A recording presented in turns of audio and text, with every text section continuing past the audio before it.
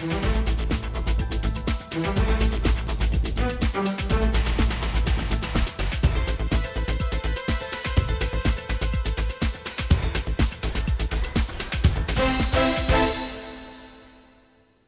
ағайын. Жексенбі күні 23-ші қысқы олимпиада өз мәресіне жетті.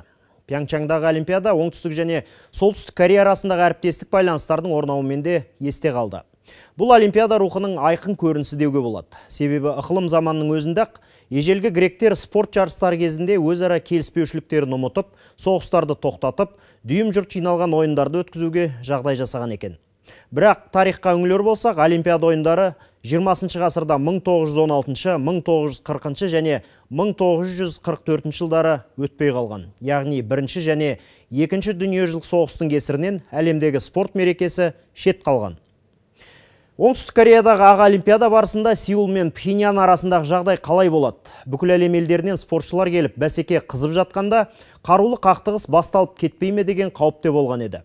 Бірақ осы жолы қос тарап арадағы келіспеушілікті уақытша ұмыта тұрып спортшылардың жарысына кедергі келтірген жоқ бұл олимпиада принципіне сай келетін үлкен жетістік деуге болады біз әлемде бейбітшілік орнатып жібермесек те спорт арқылы өзіміз көмек бере алатын жерде қол ұшын созуға дайынбыз. Біз сыйластық диалог пен ашықтыққа жағдай жасау үшін жауапкершілікті толықтай сезіне отырып спортта сөз жүзінде емес іс жүзінде де бәрі тең екенін білдіруіміз қажет. Әлем елдерінің ішінде Олимпиада ойындарын 23 мемлекет өткізіп, спортшылар мен қонақтарды қабылдаған екен. Соның ішінде Америка құрама штаттары 8 рет, Франция 5, Британия 4, Германия, Жапония, Канада және Италия 3, ал Оңтүстік Корея, Австрия, Швейцария және Норвегия 2 реттен Олимпиада өткізген. Ал Олимпиаданың астанасы деген мәртебеге әлемнің 44 қаласы лайық болған. Олардың ішінде Лондонның бәсі жоғары. Себебі ол 4 бірдей Олимпиаданы қабылдаған. Иә, қазіргі әлемде адамдарды діни, идеологиялық, ұлттық және аймақтық ерекшеліктеріне қарай бөлу, оларды бір-біріне қарсы қою әрекеттері көбейіп барады. Бұған өздерінің саяси мүдделерін ғана басшылық қалып отырған аз ғана топ қана ұмтылып отыр.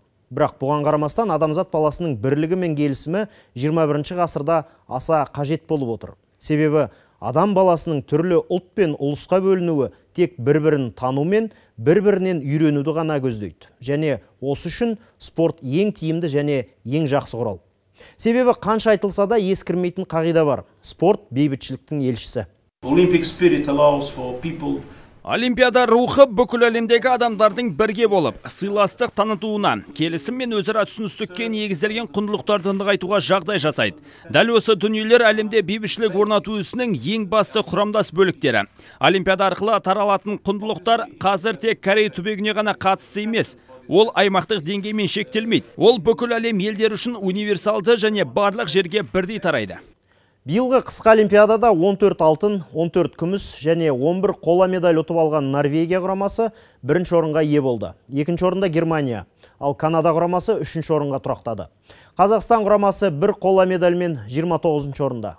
Біздің команда Латвия, Лихтенштейн сияқты елдермен командалық есепте бір деңгейде тұр. Яғни осы елдерде бір-бір қола медальдан алып отыр. Ал біздің алдымызда Испания мен Жаңа Зеландия тұр. Олар екі қола медальға қол жеткізіпті. Бұл елдерде қыстың соншалықты көпке созылмайтынын ескерсек, бұл олар үшін үлкен жетістік. Қазір Оңтүстік Корея қысқы паралимпиада ойындарын өткізу үшін дайындалып жатыр. Бұл жарыс наурыздың 9 мен 18 аралығында спорттың 6 түрі бойынша өтпек. Бұл ресми түрде өтетін 12-ші паралимпиада болмақ. Мұнда 80 медаль жиынтығы сарапқа салынады, ал Қазақстанның намысын 6 спортшы қорғайды. Келесі кездескенше еліміз аман болсын.